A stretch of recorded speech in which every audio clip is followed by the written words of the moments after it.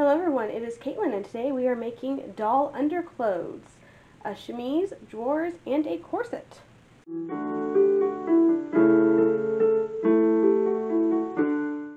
Alright, let's get working. So I have here some cotton that we're going to use to make this, um, we're going to start with the chemise. So I have some cotton we're going to use for the underpinnings. Here's Miss Elizabeth over here all naked because she's not clothes yet. And we're going to work on that today. So I drafted here a chemise pattern. And I figured we'll just start cutting it. I don't know if this is going to work yet because I've never tried this out. So we're going to make a mock-up. And hopefully the mock-up works. But I need two of the uh, front piece or the, the body piece because it's really a front and a back.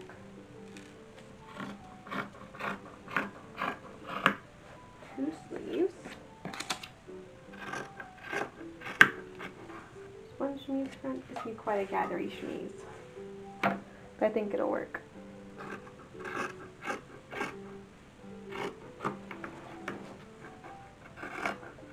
Do one for you, so I need one more. Here's the body here. These are the parts that fit together. I'm going to run these seams. And we're whole thing on machine. So,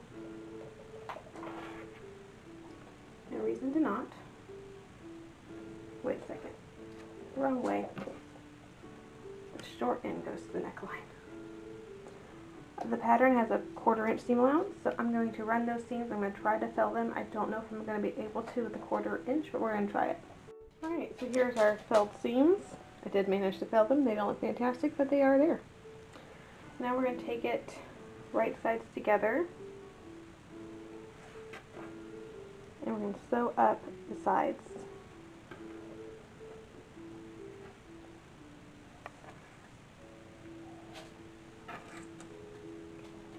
Now we're doing a simple chemise this time um, with our next doll, which I think is going to be the 1860s one next year. We'll do um, a yoke style chemise. Give y'all some options since I'm publishing these patterns.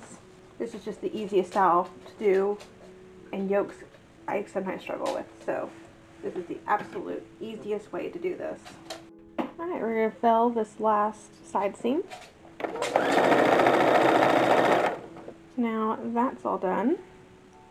We're going to hem it next, and then we got some handwork to do.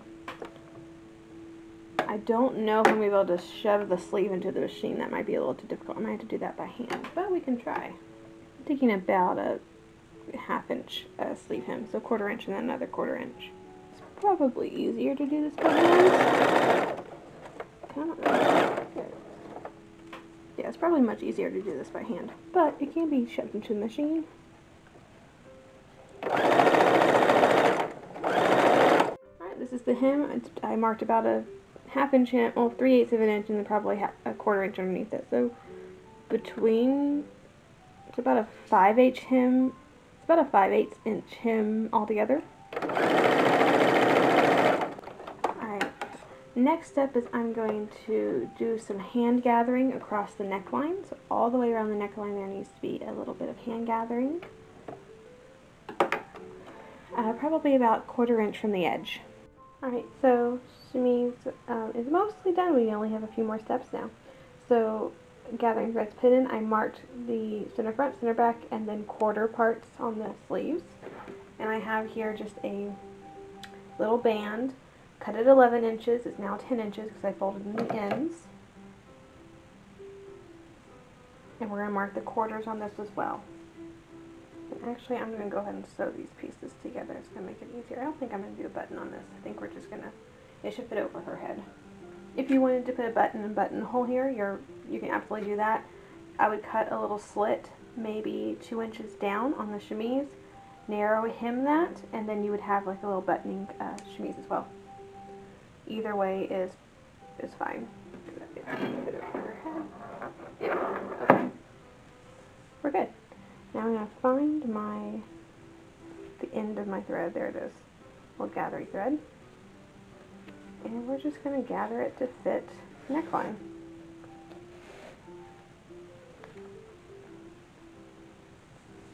Evenly distribute the gathers in it. We're going to do that all the way across. And then we're going to sew this with a quarter inch seam allowance. Very last step. I just took that little piece, folded it over twice so we have a nice finished edge on the inside to create a binding. And we're going to just whip it closed, covering all the raw edges. Now I'm going to put a couple variations in the pattern. So there'll be this version, which is the simple version. There'll be a version where you can puff the sleeves and also put a band on the sleeves, which I see frequently in originals, little banded sleeves. And um, there'll be a version with the uh, cut in the front, so you can actually do a button buttonhole. And you can mix and match the sleeves and mix and match the neckline to create several different varieties. But there's our little chemise. Isn't that adorable? Okay, I really want to put it on her, but I feel like we should wait till the end to get all the underpinnings on her. No, let's do it now.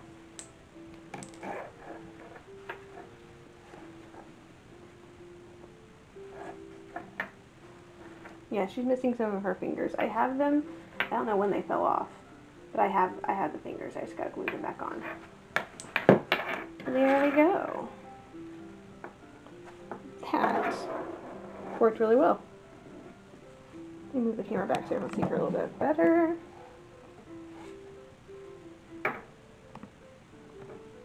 There. Nice wide neckline, which is what you want in chemise, so you can, you know, have lower neck gowns as well.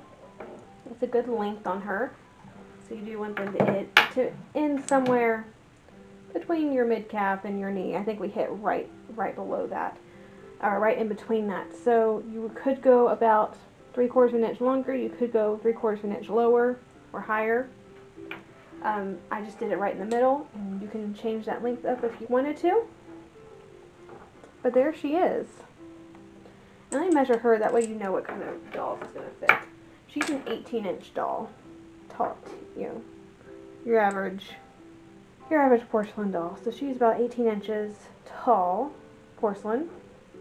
And this pattern definitely fits her, so. It is a little bit bulky, but when you get the corset on, I think in a minute, it'll be just right. So, let's go ahead and work on drawers, and then we'll do corset last. Alright, drawers. So I patterned this out. Got a good working pattern. I think it's going to work.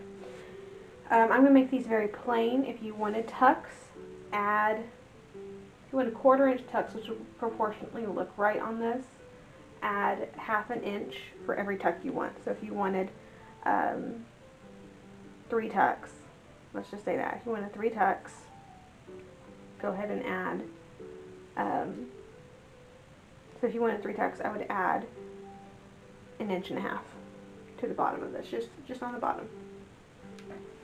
But we're going to make these plain.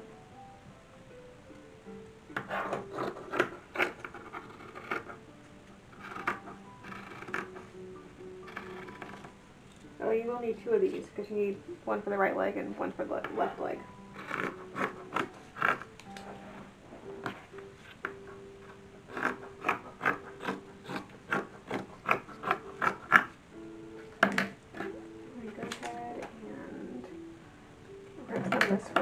Waistband. Might as well. Alright, this happens to be the exact width that I need for her waistband, which is nine and a half inches. We're going to rip um, a little bit more than an inch. Let's do an inch, inch and a half, but then seam allowances. Cut a two inch waistband. We're also going to want some one inch to do a facing on the edge of the drawers. We're going to start with sewing this little curved line. We're going to run and fell it. If you're doing tucks, um, there's two ways to do them. You can do them before you do this step, um, but your tucks aren't going to match up here, but it makes it easier to do the actual tucking portion. Or you can sew this up and then do your tucks, which means they'll match nicely, but they're a little bit more hard they're a little bit more fiddly to do because you have to sew, of course, into this little tiny hole. Alright, so I did the run and fell seam. I went ahead and hemmed them. Uh, three eighths of an inch and then a quarter inch, so half an inch uh, hem all around. And now we're going to bind this section. Uh, you can just hem it. Most of the originals I've seen are bound because once this gets sturdy and ratty, you can take it out and you still have you know perfectly nice drawers. So we're going to do it like they did women's things, not necessarily, I don't know what they did with their dolls. I've seen pictures of original doll drawers, but I've never been able to get it close enough to see if they actually did it the way, you know, women's clothes were done. And of course, turn it under and hand stitch it down, which is what I did with the other one. And I marked the front just so I remember. So I'll have to mark the front of this one as well. Alright, let's put the drawers together. So I have the two fronts here.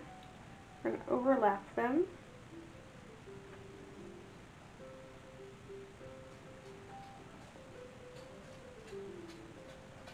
Looks right. Sure. I think I'm going to make these tying drawers, which you do see in originals, but they're not nearly as common as button and buttonhole ones. But I'm really trying to avoid doing the buttonhole. So we're just going to do a little gathering thread, quarter inch from the edge, just like we did on the chemise. Alright, we're going to take our waistband, um, which is basically the doll's waist measurement, and if you're doing ties, you just need to add the half inch for the seam allowance on either side, or quarter inch on either side, so half inch altogether. If you're doing a button one, I would add one inch. And kind of the same thing with the chemise. Just going to gather this up and then uh, sew it by machine after we get all these gathers just evenly distributed. Which is always better to have a few more gathers in the back than it is in the front for drawers, because you usually need more space in the back.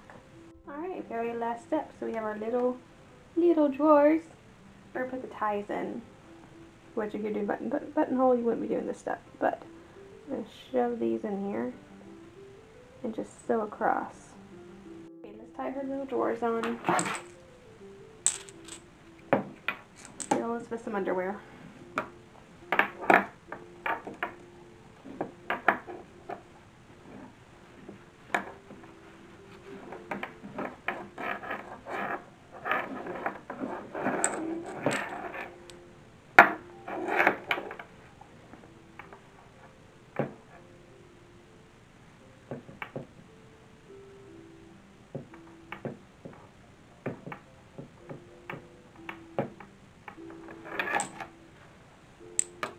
There she goes.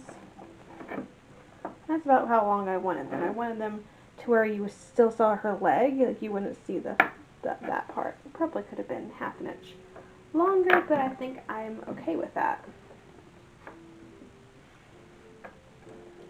Her hips a little bit more too. Make them a little bit longer. There we go. And there's her little drawers. So now she has two bits of underwear. She has her chemise and her drawers. One more thing, we're going to make her a corset, and, then we'll be done for the day. Alright, well, I made a fashion of a corset pattern. We're going to see if it works. I'm going to go ahead and cut it out of the real fabric, uh, just in case it does work.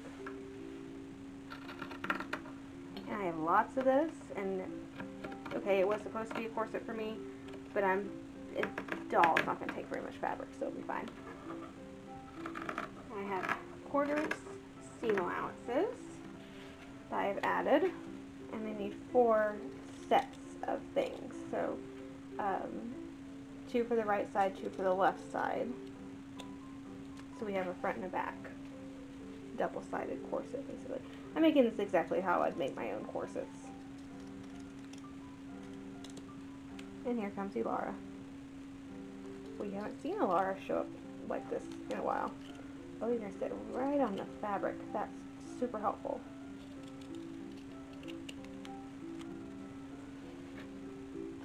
Can you like scooch down just a little bit? Like take two steps over. Perfect. That's great. You can lay right there. I, I just need this little space right here. Thank you. Well, now she's up and mad, so I'd offer her the chair, but I'm about to have a meeting and I kind of need the chair. Only be here for a minute. You can have all the fabric you want. Alright, now these pieces are numbered. So here's number one, two. Okay, yeah. Okay, so they go like that. So we're going to sew this piece to this one.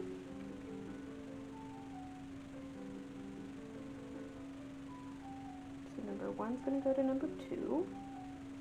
I'm just going to pin them together really just to make sure that I'm sewing the right thing together. And then these right sides. And wait, did I put that in right? And I guess we'll go ahead and, no, we're going to go ahead and do this first. Okay, sew this by machine. And then we'll just add piece three and then piece four and then piece five. Alright, so pieces are all sewn together. So I have four little bits. I'm going to sew them together at the front and the back. Here the front of one side. Now this is normally where you would put a center busk, but um, no one makes busks this small, so we're just going to have to not make a, a front opening corset, which for early 1850s is actually correct. Yes, front opening busks were around by the late, late 40s, but it doesn't seem like they became universal for a couple of years. Now we're going to sew both pieces at the front and the back. We're actually at the both backs, so back here and back here. So then it sits down the very center front, just down that seam. Do one bone on this side, one bone on this side. And we'll probably put bones in each of the seams, like I would for a normal corset. Quick corset update. I've been working on the boning. So did what we talked about in the center front, just did a, a row of stitching right in the center and then did um, another row a little bit to that side, a little bit to that side, so there'll be two bones in the center front. And on every seam in the corset, I've done the same thing. So stitching down the row of seam, and then uh, a boning width away on the left, and a boning width away on the right. and you can see how much better just the corset lays in and of itself, just with the, the channel sewn. I haven't even put boning in there yet. And it's much stiffer, it just lays nicer, as opposed to this side, which isn't done yet. So. Um, on the very edge, I only did one boning channel on the very uh, back, and we'll do some eyelets down there, most likely by hand, because I don't think they make eyelets doll sized. So we're going to do that part by hand. Other than that, um, I'm going to finish doing the bony channels on that side, then we will stick bones in. Actually, we'll probably do eyelets first. Eyelets, then stick bones in, bind it up, we'll be done. Alright, we are boning this little corset. So I'm just taking millinery wire because I figured that would be the easiest thing to bone this with. I'm measuring out what I need. And just sticking it in there like you would with regular boning. Sometimes I find it's easier to get the last little bit by pushing on the table. Okay, cool. Alright, so that's these three done. So I'm going to continue in that manner, at which point we'll bind it with just some extra fabric, and we'll to do um, eyelets. Alright, last little bit. Putting in eyelets. So I bound the whole thing, just in regular cotton, as you would a normal corset, and I'm putting in eyelets by hand. Mostly because the big eyelets I have, even the tiniest ones I have would be far too large for a doll. Doing hand-done eyelets is rarely my choice. In fact, none of my corsets have hand-done eyelets. Well, the doll shall have them. And I'm just doing a wrapped um, thread. Like I'm not doing a buttonhole stitch. Alright. So I have here a little bit of uh, cording that I'm going to use for the lacing. Make it a doll. Let's see if we can lace this corset on her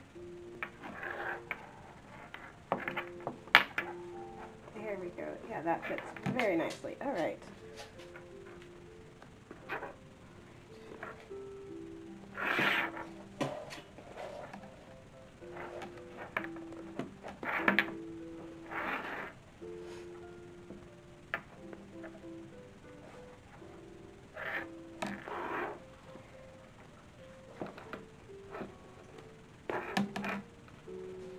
There we. All right, sure that up to where it needs to be. There it is. Alright. Mix her in it. Oh dear. Okay. And tie her off. There she goes. Alright. I'm quite happy with that. We'll move it all up so we can see. Okay, ignore the watch next to her head, but there we go. That is a properly figured uh, corseted figure.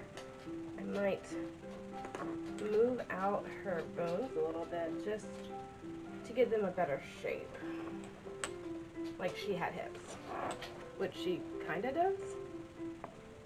There we go. Okay. And there's the back. Perhaps not put on as evenly as she should, but that's more of my error. Actually, I'm going to tighten her laces just a bit. Either tighten here or loosen in the middle. I'm not sure which I'm going to do. Those tighten. We got quite a bit accomplished today. Drawers, chemise, corset. There's the back. Looks quite lovely. I'm very happy with that. I'm gonna sit her here. May you, can you move your bottom, please? I shall move you. So yeah, that's perfectly acceptable little set of underpinnings. I think that's all she needs for now. I mean, obviously, ideally, she'd have a couple of sets of Lisa's chemise and drawers. I'm not particularly concerned about that right now, particularly using her as I shall use her, um, which is basically just to show the layers a woman would wear. Now, if if I end up with a daughter and this is now her doll, of course, this is a making doll clothes is practice for little girls, so she would make more sets of things. But as far as what I'm going to use it for, we're good. So that is basically our little project. I think next we need to work on petticoats and such. I don't think we're going to make a hoop for this one. We're going to do early 50s for her. So as and as such, we're going to do a corded petty instead of a um, hoop. So that's going to be the next video is um, under petticoat, hoop, bustle, that, that sort of thing. And so we can all look forward to that next next month to get her the rest of her underpinnings accomplished. But other than that, thank you so much for joining me today making our little doll under things. I hope you have a fantastic week and I'll see you back here on Monday.